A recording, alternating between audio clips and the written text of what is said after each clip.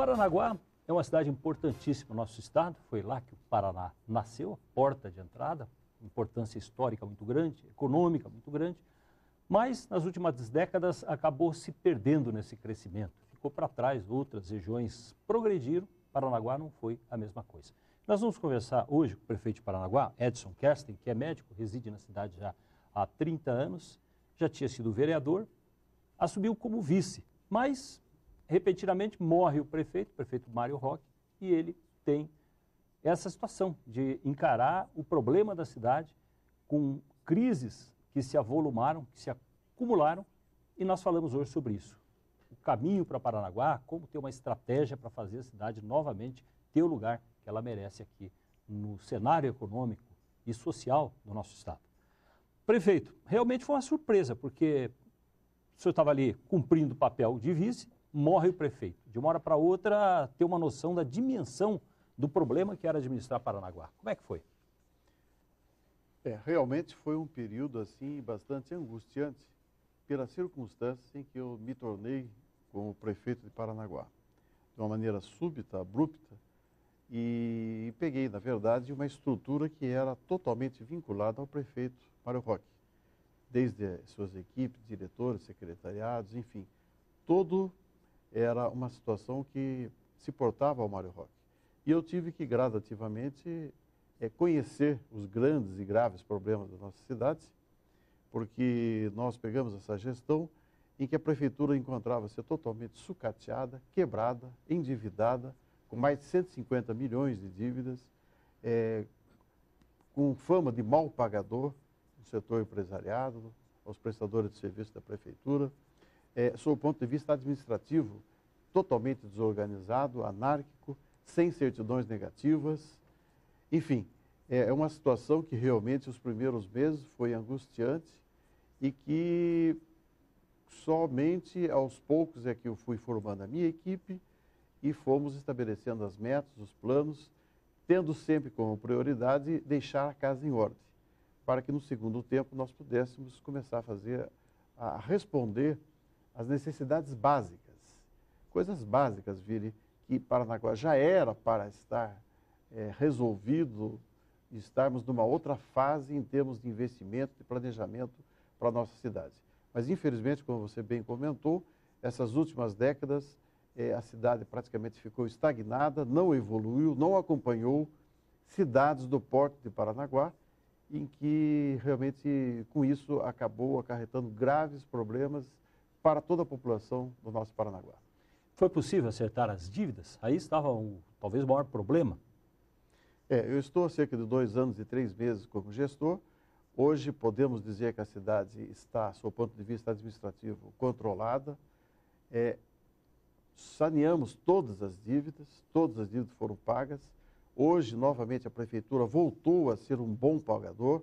Isso se reflete em todas as licitações que nós fazemos, em que há uma participação do número elevado de, de empresários, porque sabe que prestou serviço, vai receber. Isso nos deixa assim numa situação muito mais cômoda, tranquila. E agora estamos com o nosso é, a grande preocupação é a, a parte de planejamento, investimento naquilo que é mais prioritário para a nossa cidade. A imagem que passava politicamente é de um isolamento, que não havia ligação ou com o governo federal, governo estadual, mesmo com o próprio porto. Isso foi solucionado? Foi. Hoje, nesses últimos 30 anos, é, sempre houve uma dicotomia, uma separação entre prefeitura e porto. Paranaguá é uma cidade portuária, uma cidade porto. É óbvio que para que as coisas possam evoluir, evoluir de uma maneira favorável para os nossos munícipes, tem que haver essa união. Hoje nós podemos dizer que é uma parceria forte, sustentável, em que o Porto começou a se engajar nos problemas da cidade e nós temos inúmeros setores em que prefeitura e porto trabalham junto, envolvendo não só a região retroportuária, mas também como participação social do porto. Cito como exemplo, Vire, a situação em que, é, desde o início, a Prefeitura procurou, junto ao governo federal, Ministério do Transporte, DENIT, a possibilidade de fazermos uma entrada da cidade compatível com o porte da cidade, compatível com o que representa a arrecadação a nível nacional. Paranaguá tem o segundo maior porto do Brasil, só perde para Santos. E é o principal porto exportador de grãos do nosso país.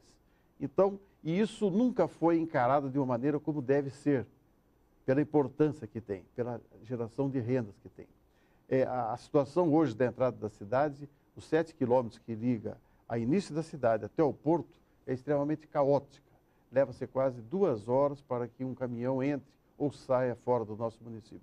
Desde o início buscamos apoio federal, no sentido de fazermos uma duplicação, criação de marginais, ciclovias, e por duas vezes tivemos audiência pública por parte do Ministério do Transporte, e quando as coisas pareciam que iam começar a ser o processo de eh, desencadeamento do processo da, da construção da, da duplicação, eh, o, o governo federal ficou praticamente sem caixa e tudo foi suspenso.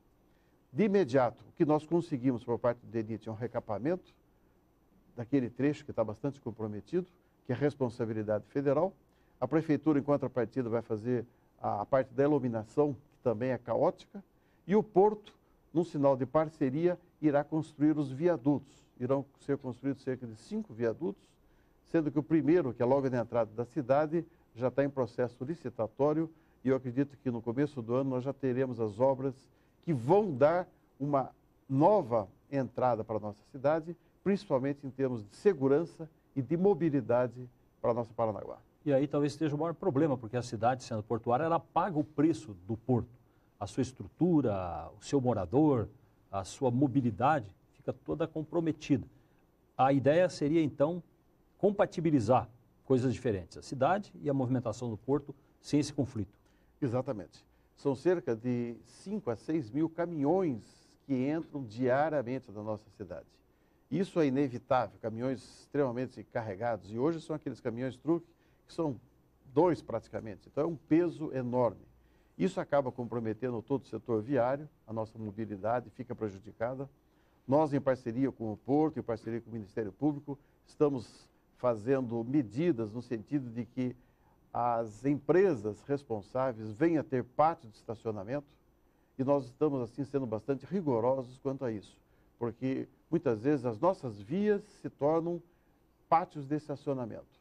E isso é uma coisa que nós não podemos admitir em termos de segurança, em termos de comprometimento da qualidade de vida para o nosso cidadão paranaguara. Então, na verdade, essas três, a, a, a Prefeitura, o Ministério Público e o Porto, estão tomando medidas e seremos, assim, enérgicos para combatermos essa situação que não pode mais persistir. Outro tema importantíssimo é a questão ambiental, porque era o lixão, que era infelizmente uma, um triste aspecto histórico da cidade, é, a questão do, da coleta de lixo, esgoto e tudo mais. Foi possível equacionar para chegar numa solução? É, são problemas crônicos, antigos e problemas inadmissíveis que pudesse dar continuidade. Nós tínhamos um lixão com mais de 30 anos de história da nossa cidade, que era uma coisa totalmente abominável, tanto sob o ponto de vista ambiental, ponto de vista sanitário, sob o ponto de vista social, onde nós tínhamos dezenas de famílias é, trabalhando junto, muitas vezes até com suas crianças, é, tendo como única alternativa de recurso financeiro o, o trabalho do lixão.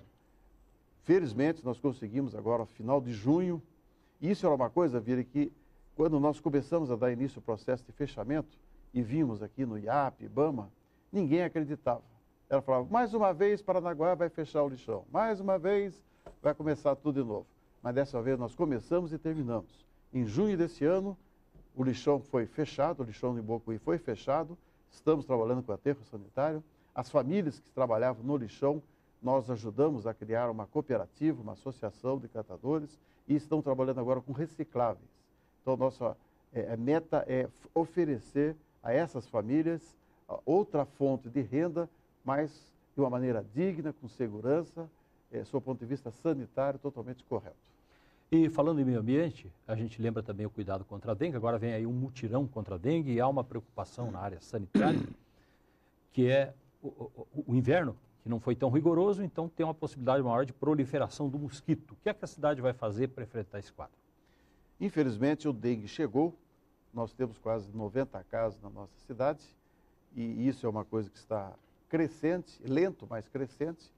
E nós estamos agora começando a, a intensificar uma campanha de conscientização, de envolvimento de toda a nossa população, porque isso, infelizmente, não é responsabilidade da Secretaria de Saúde, não é a Secretaria do Meio Ambiente que é responsável. É uma participação coletiva que envolve toda a nossa comunidade. Nós temos que mudar hábitos é, de vida, familiares, e é nisso que nós estamos agora começando a nos empenhar, fazendo uma campanha de conscientização. Iniciamos junto às nossas escolas, agora estamos envolvendo todo o setor empresarial, porto, cooperativas, e o objetivo desse mutirão, que está programado ser feito agora no começo de novembro, é que durante três dias nós venhamos a fazer um, uma, uma pente fina em toda a nossa cidade, em todos os nossos é, 61 bairros e cerca de 60 mil residências que tem. Entrando dentro da sua residência, é, para que possa passar as informações, é, vamos entregar e fazer junto com o morador de cada residência um checklist, deixando é, com ele também esse folder informativo para que ele possa dar continuidade.